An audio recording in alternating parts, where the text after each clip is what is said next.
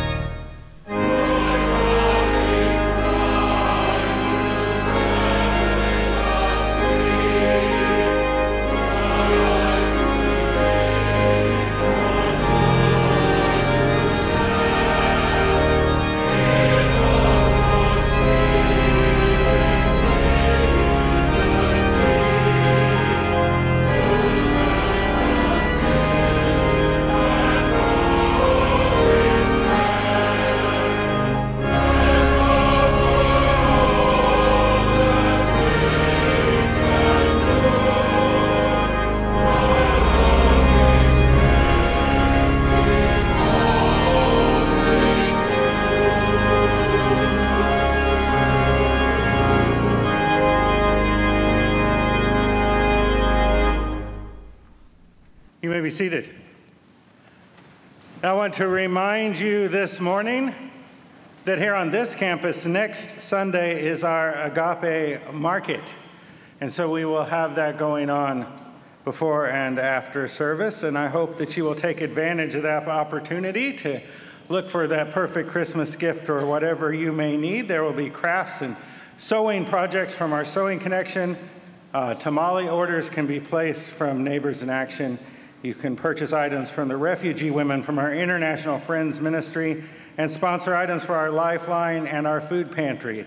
So we hope that you will join us. And if you can't make next week here on this campus, then it will be on the 24th the following week at our West Campus.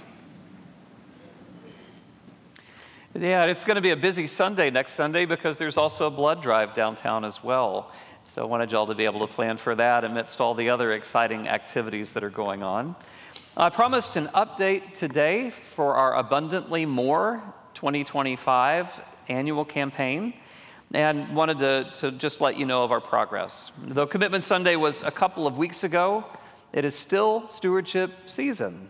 And so we are, we are overjoyed to continue to receive pledges. Uh, we do so every day and will in the weeks ahead. Many uh, need to wait until the end of the year to figure out kind of how income is going to work in the next year. So we know uh, we're really just getting started and building toward our goal.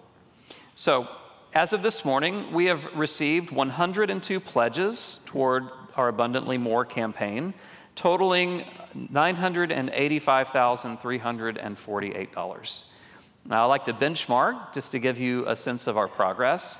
And so, if you compare that to this year's 2024 Multiply campaign, which received a total of 200 pledges totaling just over $2 million, you get a sense of where we are and what ground we need to cover to get to our goal. Now, I'm, I'm really pleased with the progress thus far. This is where I would expect to be at this time in the season uh, at this point in the year. I know that additional pledges will continue to come in. I want to say thank you to all who have prayerfully considered a financial commitment to support our mission and our ministries next year. Just as you budget in your household based on income that you would anticipate, we do the same for God's house. When you're able to commit, and, and it's just that it's a, it, it's a commitment, but it can be changed as your situation changes. But it does help us to be great stewards of uh, the resources entrusted for God's work to the church. And, and so, really, I just from the bottom of my heart, want to say thank you uh, for turning in your, your pledge commitment. It's not too late. Uh, never really is until the end of next year, in fact, uh, to turn in your commitment card. And there are multiple ways to do that. Uh, first, we have some available on the usher stand and the welcome desk. You can pick up a card to take home, to pray over, and bring back and drop in the plate, or you could mail it to the church anytime you're ready. You can also give anytime online at fmhouston.com slash abundantly hyphen more. And there's an online commitment card there, and you can commit from home or from wherever you are. I want to thank you so much for your generosity and support. Thank you for being the church. As our ushers prepare to lead us in the ministry of generosity and giving, let us go to the Lord in prayer. Our gracious and loving God, you are the giver of every perfect gift. You are the creator of all things. You have entrusted to us a portion of your abundance, and you call us as your people to share from the abundance that you have shared with us. And so, God, as we open up our hearts to give in this moment, we pray that you would use these gifts, receive them as our offering to you so that we can bless one another and be a blessing to our community. Lord, help us to understand and to see our giving as bright, shining light that helps us to take your ministry to the very ends of the earth. We pray all this in the name of Jesus Christ our Lord.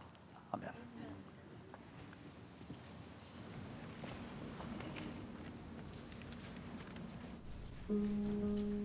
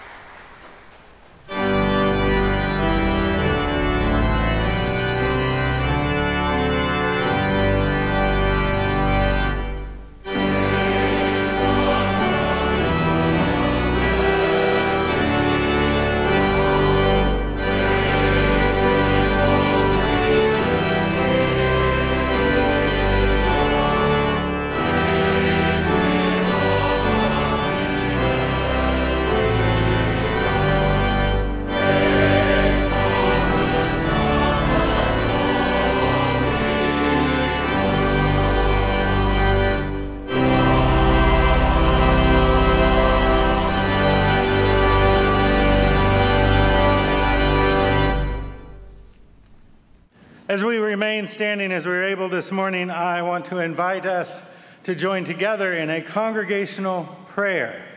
This morning, that prayer being the prayer of St. Francis. Let us pray together. Lord, make me an instrument of thy peace. Where there is hatred, let me sow love. Where there is injury, pardon. Where there is doubt, faith. Where there is despair, hope. Where there is darkness, light. And where there is sadness, joy.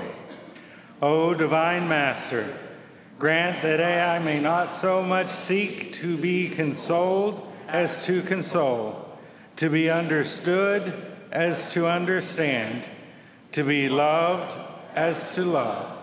For it is in giving that we receive, it is in pardoning that we are pardoned, and it is in dying that we are born to eternal life. Amen.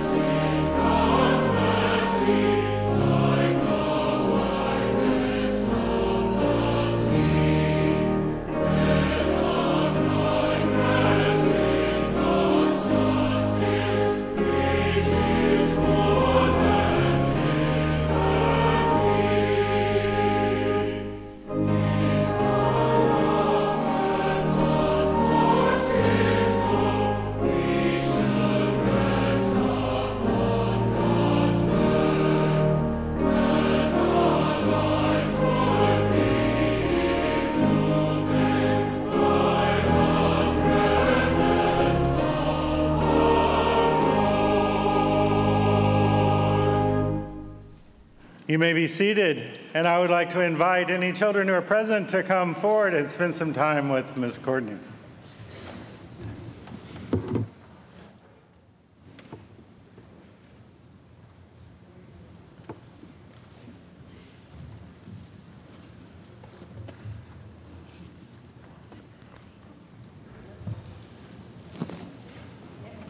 All right, good morning, guys. How are y'all today? Good. I'm so glad to see you all today. Okay, so I want you to tell me what do you think of when you see a heart? What do you think of? Love. Love. God's love. Kindness. Blood, okay. Does anybody think about Valentine's Day too? That's what I, that's the first thing. I got this from our Valentine's Day bucket of things. So probably when you see a heart, probably the very first thing that comes to your mind is to think about love. Who are some people that you love?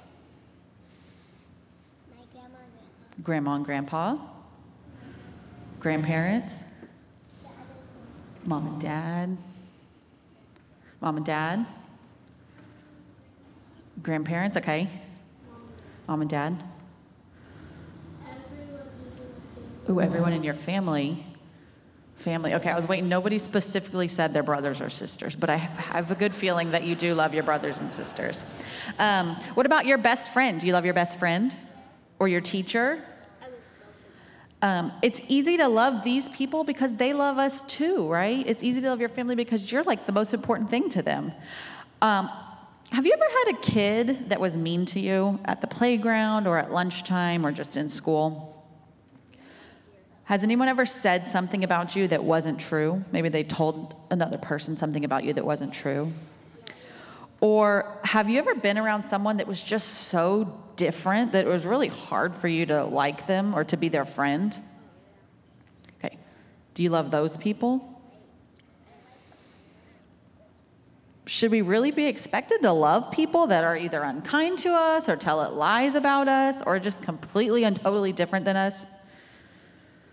Well, let's see what Jesus said about it. So one day, Jesus, he was teaching up on a hillside, and we called this lesson that day the Sermon on the Mount. Now, in his sermon, Jesus said some things that really surprised the people that were there to listen to him. Jesus said, You have heard that you should love your neighbors and hate your enemies. But I say, Love your enemies. And if someone does mean and hateful things to you, pray for them. So, why should we love our enemies? Jesus said that when we love our enemies, we are acting like children of God because we are loving the children of God. If we only love those who love us, is God going to be pleased with us? If we're only kind to friends or other people who are like us or who like us, what's so great about that? Everybody can be nice to people that are nice to them, right? But when we have the words of Jesus in our heart, we're different, and the way that we treat people is differently. Even people that we might consider our enemies, the way we treat them is differently than the way the rest of the world might treat them. It's not easy to love your enemies all the time, but there's some good reasons for doing it. So I've, i wrote down a couple reasons that came to my mind, and I want help reading them. It sets a good example for others to follow.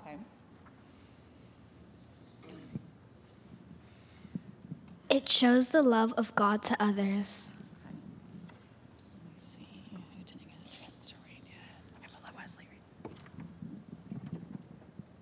It can turn enemies into friends. Wow, the love of God is so big that it could take an enemy in your life and turn it into a friend. Isn't that really good and amazing news? Let's pray this morning. So I'm going to pray first, and y'all can repeat after me. Dear God, it's easy to love, those who love us. Help us to love, our enemies so that they might know we are all your children. In Jesus' name we pray. Amen.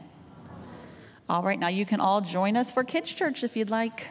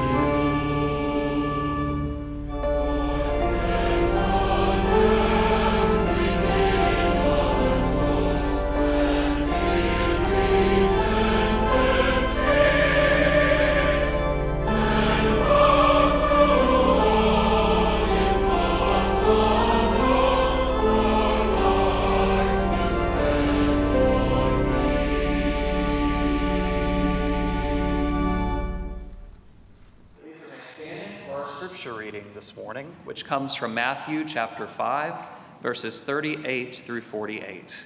As I read, listen for a word from the Lord. You have heard that it was said, an eye for an eye and a tooth for a tooth. But I say to you, do not resist an evildoer. But if anyone strikes you on the right cheek, turn the other also. And if anyone wants to sue you and take your coat, give your cloak as well. And if anyone forces you to go one mile, go also the second mile. Give to everyone who begs from you, and do not refuse anyone who wants to borrow from you. You have heard that it was said, You shall love your neighbor and hate your enemy. But I say to you, love your enemies and pray for those who persecute you, so that you may be children of your Father in heaven. For he makes his sun rise on the evil and on the good, and sends rain on the righteous and the unrighteous. For if you love those who love you, what reward do you have? Do not even the tax collectors do the same? And if you greet only your brothers or sisters, what more are you doing than others? Do not even the Gentiles do the same? Be perfect, therefore, as your heavenly Father is perfect. The word of God for the people of God. Thanks be to God. Please be seated.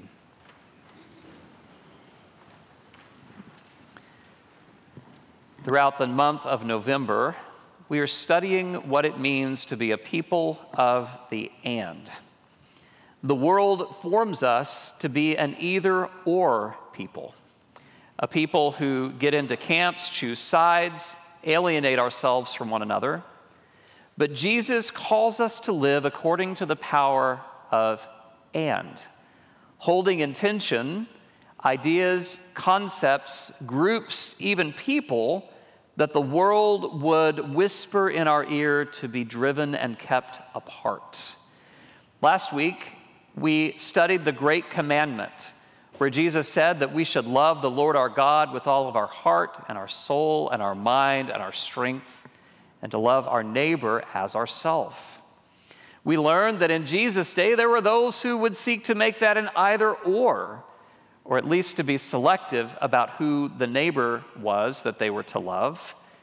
In Luke's gospel, the parable of the Great Samaritan is given as an illustration of the Great Commandment, where a scribe seeking to justify himself asked, And just who is my neighbor? And it turns out to be the dastardly, dirty old Samaritan that he tried to keep himself so far from. Jesus asked, who is the one who was a neighbor to the man beaten and left for dead? The scribe said, The one who showed him mercy. And Jesus said, Then go and do likewise. Turns out the love of God and the love of neighbor are inseparably linked. One is the fruit of the other. And you can start on either side and look across the divide and know that that is really true.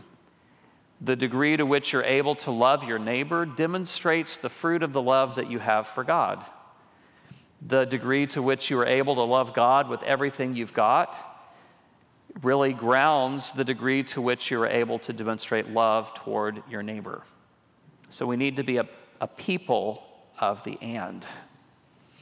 Today, we encounter Jesus preaching the Sermon on the Mount, and he tells us another and statement he says, The world says, You have heard that it was said, You shall love your enemy and hate, uh, love your neighbor and hate your enemy.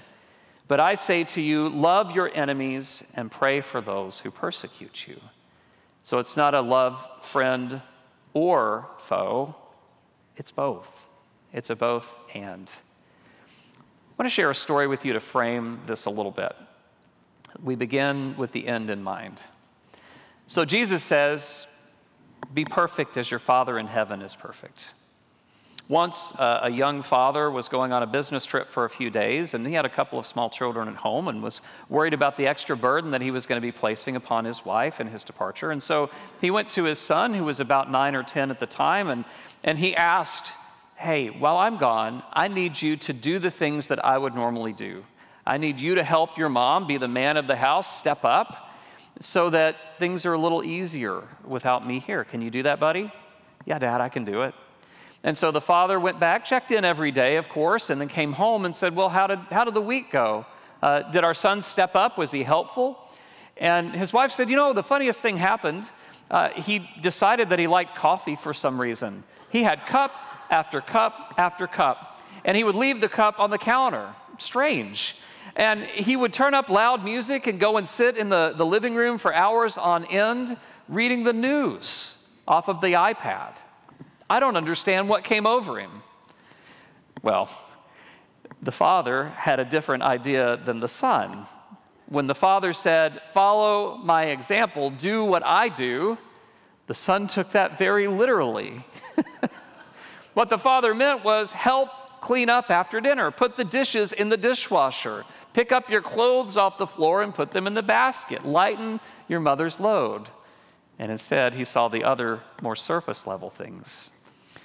Jesus says here, I have come into this world to show you the heart of my Father, to make visible and practical the, the laws and the will and the commandments of my Father, so that what you see me put into practice, you will also do.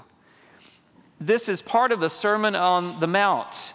And in Matthew's gospel, the audience is Jewish. Jesus is preaching, Matthew is writing to a particular group of people who had been called for a particular purpose. They had been chosen by God. And what Jesus is saying here in the Sermon on the Mount is that yes, you were chosen, but I don't play favorites. God doesn't play favorites. He didn't choose you to leave the rest of the world in darkness. He chose you to shine a light into the darkness so that the world that does not yet know me could be drawn into a relationship with me and my Father through the Spirit. And so when Jesus says, Be perfect as your Father in heaven is perfect, he holds before us what seems to be an impossible standard. For we all have read Romans, right? All have sinned and fallen short of the glory of God. We have. I do every single day. And yet, Jesus tells us to strive after perfection in love. You know, that's why I'm a Methodist a Christian in the Wesleyan tradition because one of our distinctives is that we seek to be made perfect in love. You've heard me say before that one of the ordination questions pastors are asked when we stand before the bishop after eight years or so of, of study and of residency and all the things we have to do, we are asked, Do you expect to be made perfect in love in this life? And we have to say, Yes, by the grace of God. We don't believe that we are perfect. However, we believe that if we don't strive to love like Jesus on this side of eternity, we will never hope to attain the standard. And here's the headline Once we are in heaven in the presence of God and we see God fully and we ourselves are fully known, we will love perfectly as God loves us. I quote almost every week John 3:16. If you want to know the heart of the Father, read John 3:16 and 17. For God so loved who? The world, that he gave his one and only son that whoever believes in him shall not perish but have everlasting life. God did not send his son into the world to condemn the world, but that the world might be what? Saved through him. The Father gave everything, gave his son for the world. Not just those who already loved and believed in return, but for those who were yet to love and return and to believe. And in that life giving, sacrificial presence and love, the heart of the Father is demonstrated for the sake of the world as light shone brightly into the darkness, drawing people toward the warmth and the presence and the love and the mercy of God. What I love about Jesus and his teaching is that he gets really practical. He doesn't keep things at a high level to where we can't understand. He, he gets down into the nitty gritty. And so, to frame this love of neighbor and love of enemy, he gives three examples in the, the verses preceding. He says, You have heard that it was said, an eye for an eye and a tooth for a tooth. This is a Jewish audience. This is an Old Testament teaching. The idea was look, instead of letting things escalate to a point of major conflict, if somebody wounds you and you have to lose your eye, then the person who wounded you should have to lose his or her eye also. If someone has knocked out a tooth, well, the retribution is that you also should lose a tooth. Even Stephen, no need to fight beyond that. That was the standard to which the people believed they were being held when Jesus preached. But he turns these ethics upside down and he says, But I say to you, do not resist an evildoer. If anyone strikes you on the right cheek, turn the other also. When I was a child, I remember studying, hearing this passage, and I thought, oh, that just means to turn and walk away. Right? If I get my, my cheek slapped, I just ought to walk away from the person. I knew it, it meant that I don't get even. But oh, as I've dug into this passage, how I wish it meant that. It means something even more difficult. It means that if somebody slaps you on your left cheek, you are to turn and let them slap you on your right as well, with no retribution. You stand and you receive it, looking them in the eye, letting them deal with what it is that they are doing, demonstrating mercy and grace, but not reacting in the way that the person deserves in that moment. That reminds me of Isaiah's prophecy that's often used to frame Jesus' own crucifixion, where it says, As a sheep in the presence of his shearers was silent and in the face of evil did not open his mouth. I'm reminded of that in this teaching here. Jesus says, Don't get even, show a more excellent way. He goes on, he says, If anyone wants to sue you and take your coat, give your cloak as well. What's the difference between coat and cloak? One is an outer garment, one is an undergarment. In that day and age, somebody that was owed money could take the one who owed the debt to court, and if the person could not pay, could extract payment by taking the very shirt off someone's back. Jesus was saying, if that were to happen, give them your underwear as well and shame them by your nakedness, so that what they are doing will be fully revealed to all who are there to witness it. That's the weight of Jesus' teaching. We prayed earlier the prayer of St. Francis, and I love the story about St. Francis. His father was very shrewd. He was a hard man. He was a, a purveyor of cloth and a clothing maker. He had a, a factory where clothes were made. And Francis grew up with a silver spoon in his mouth, so to speak. He had no expense spared, had everything he ever wanted. I mean, he was like the younger brother in the parable of the prodigal. Whenever he wanted to celebrate with his friends, his father would fund it from his fortune. Well, as Francis grew up, he began to feel God's call in his life. And one day he was praying in a broken down, dilapidated church, and he heard God calling him to fix the church.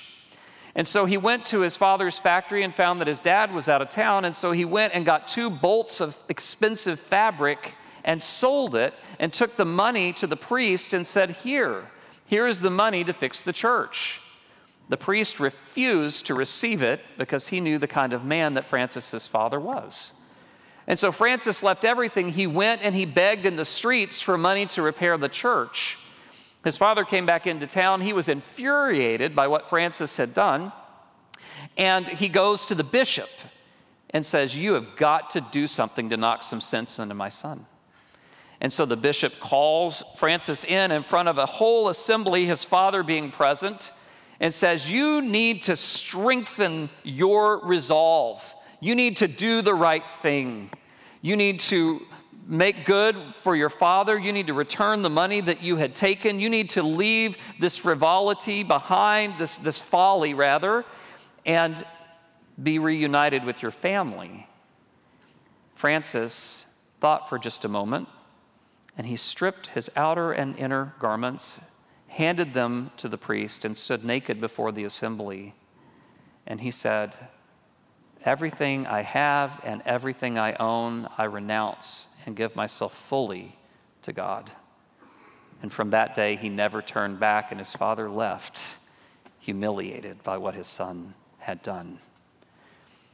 If anyone wants to sue you and take your coat, you give your cloak as well. Finally, Jesus says, If anyone forces you to go one mile, go also the second mile. There was a statute during Jesus' time where if a Roman soldier compelled you to carry his helmet or his armor or his weapons or his bags, that you were to do that, but no further than one mile. And Jesus is saying, if that happens, go the extra mile. In fact, go all the way to the destination. If you've watched The Chosen in the last season, there's this scene, and it's, it's a really powerful scene because, you know, the, the soldiers come very prideful at first and, you know, look at the power we have over these, these Jews, right? We can ask them to do this and they have to do it, so they reluctantly do. And Jesus tells them to press on and press on. And the further they go, the soldiers begin to feel humiliated. No, no, no, stop. No, no, one mile was enough. Please, anything. No, no, we're going to do this. They get to the end and say, Why would you go the extra mile when all you had to do was one? And the headline was, Because we follow him and nothing less is expected of us.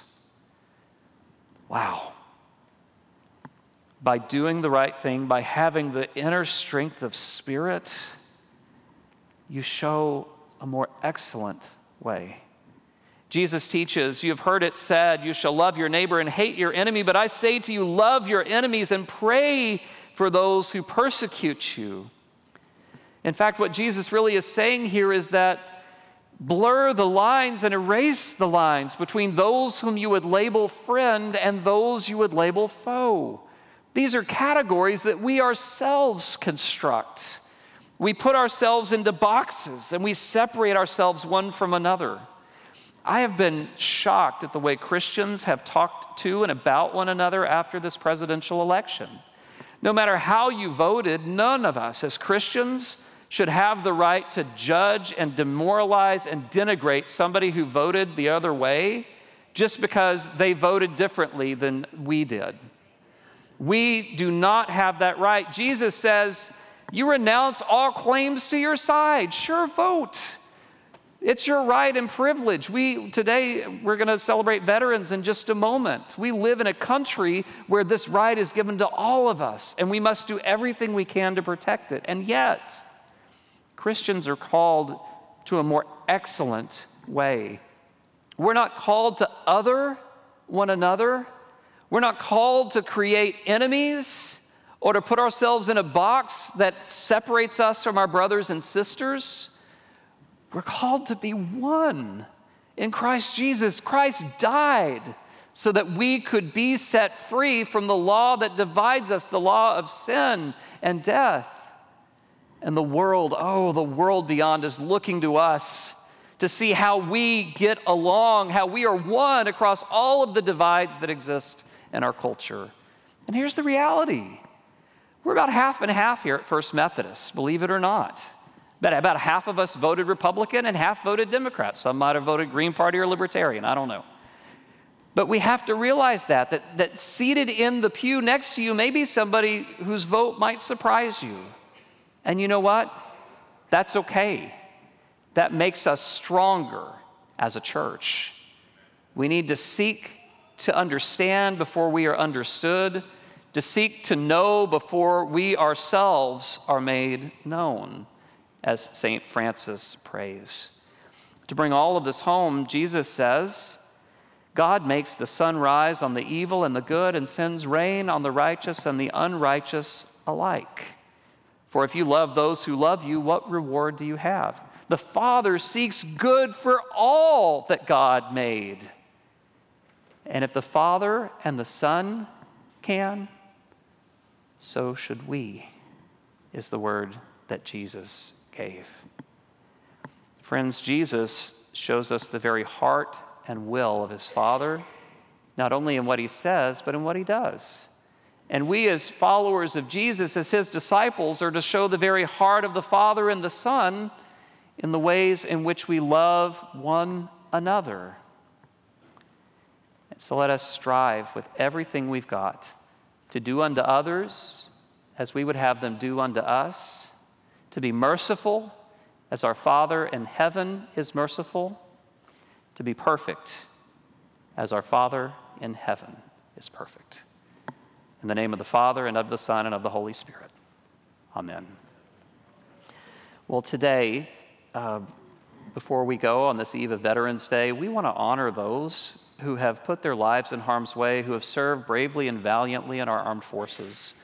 And So I want to do something today that's, that's quite special. I want us as a call to prayer to remain seated. Uh, and I want to sing a couple of verses of the Navy hymn, Eternal Father, Strong to Save. And I want us to remain seated in a posture of prayer because I want you to focus on, on what the words say and how they speak to us uh, on this Veterans Day in particular. So I'm going to ask the choir to lead us in our call to prayer.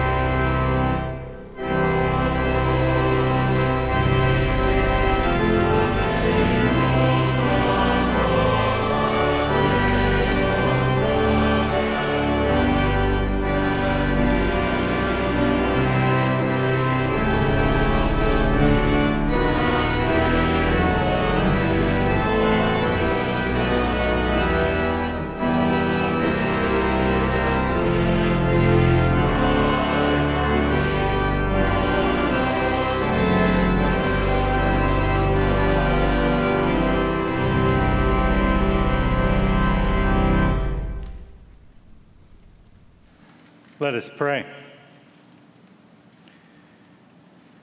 God, we are grateful.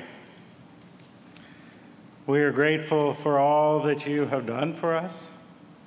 We are grateful for your presence in our lives. We are grateful that you bind us together as your children. And we are grateful for the sacrifice that you made to show your love for us.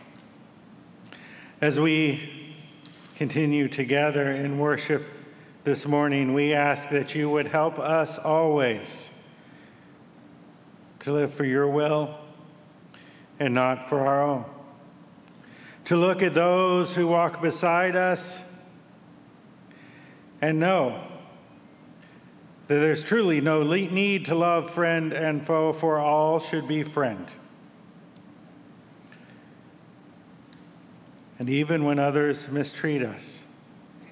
To think how Christ was mistreated and the love he continued to show.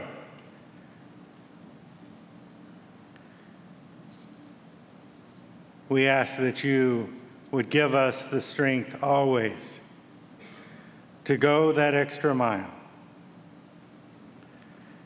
to show your love, to show your grace to show all that surround us that they are your children. And that makes them our brothers and sisters, and therefore we will love.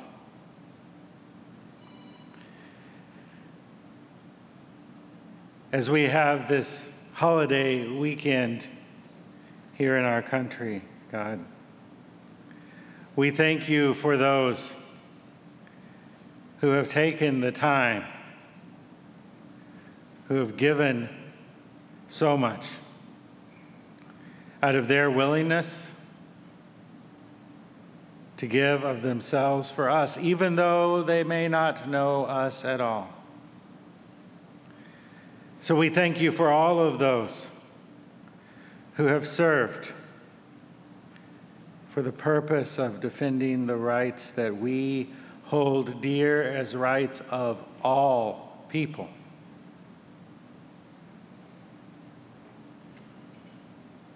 We are grateful for those who came home to their families and for those who are in the room here with us today. We are also grateful for those who never made it home. and showed that there is no greater love than to give of one's life for your friends. So, God, as we think of those sacrifices that have been necessary throughout time, we ask that you would help us to build a world where we do seek to understand one another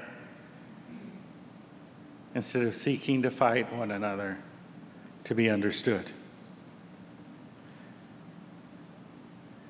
Help us to be a loving community, to be those who love each other regardless of how we are treated, and who go forth in your love and in your name. We are grateful for those lessons that came to us from Jesus Christ. And we are eternally grateful for all the lessons that Christ taught us during his time here on earth, including when we asked him how to pray. And so this morning, as we remember the words he taught us, we say them aloud together, praying Our Father, who art in heaven, hallowed be thy name. Thy kingdom come, thy will be done, on earth as it is in heaven. Give us this day our daily bread and forgive us our trespasses, as we forgive those who trespass against us. And lead us not into temptation, but deliver us from evil. For thine is the kingdom, and the power, and the glory forever. Amen. Before we go, I want to invite you into a time of prayer and to praise. Our rail is open as it is every week for you to come and to pray. Uh, leave your burdens here. Let Jesus carry them for a mile or two uh, while you seek comfort and peace in Him. Our closing hymn is one of our beloved uh, Charles Wesley hymns. Uh, Charles Wesley was one of the founders of this movement that we're a part of as Christians in the Methodist tradition. Uh, whenever I sing a Charles Wesley hymn, I know why uh, I have chosen to follow God uh, in this movement of which we are a part. He tells us how to do from Scripture what we've talked about today. So I invite you to stand as we sing our closing song Jesus, Lord, we look to thee. Let us stand.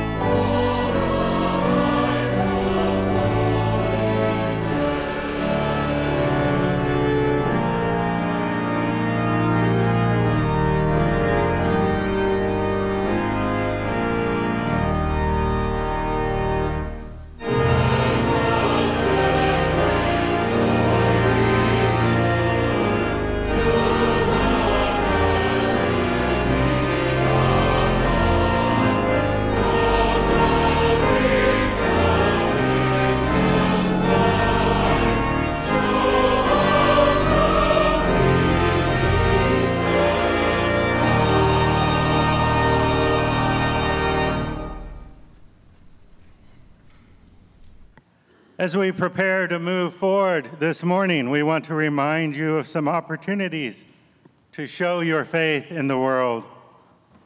And the first I'd like to do today is the Thanksgiving in a bag. I've seen the bags lining the hallway out there, and we are grateful for that. I'll remind you that today is the last day for donations to that as we take care of families related to our church, including Neighbors in Action, and you can drop them off out in the lobby. You can also donate funds to help create meals for this family. Uh, and to do so, you can go to our website, fmhouston.com slash Thanksgiving in a bag and click on Make a Donation. Speaking of Thanksgiving, next Sunday is the NIA Thanksgiving Feast at Port Houston Elementary School. Uh, we need volunteers from 3 p.m. to 7 p.m. to set up, decorate, serve, and clean up. I believe you can uh, pick a job that fits the amount of time you have to give. You can stay for some or all of that. You can register to volunteer by visiting fmhmissions.com/serve, and you'll find Thanksgiving in a or Thanksgiving feast. You can click on that to register to help next week. And our ministry at West Campus, the Quillian Center, has their Quillian Golf Tournament coming up on December 10th, and so I want to remind you uh, that that is available. You can still sign up teams. A team uh, is 350 and single players are 85. This is a great opportunity to support the youth that we serve through that ministry. It's also a great opportunity to promote your business while supporting them. If you want to bring clients or um, coworkers with you, or you just want to do a single um, registration and play together, you can also sponsor holes if that's something you'd like to do. And we appreciate anything you can do to help support those ministries to the children of our community. Or you can come and laugh at me because the, the only golf I play is mini. but I'll be there in spirit to support those who are true golfers. Well, we have something special after the benediction today. Uh, I'm going to stay in place because uh, Paul has prepared a, special postlude to honor our veterans, uh, the, the Armed Forces Medley, and, and I'm going to stay for that. I invite those of you who are able to stick around for five minutes or so to do that, but we understand if you need to go uh, and continue on with your day as well. I want to send us forth with these words of blessing. Friends, Jesus calls us to show a more excellent way. Paul tells us how we do that through love, reminding us that love is patient and kind. It does not envy, it does not boast, it is not proud, it does not dishonor others, it is not self seeking or easily angered, it keeps no record of wrongs. Love does not delight in evil, but rejoices with the truth, always protecting, trusting, hoping, and persevering. Friends, love never fails. Go forth today to love as Jesus loved us, and go forth today and every day and be the church. Amen.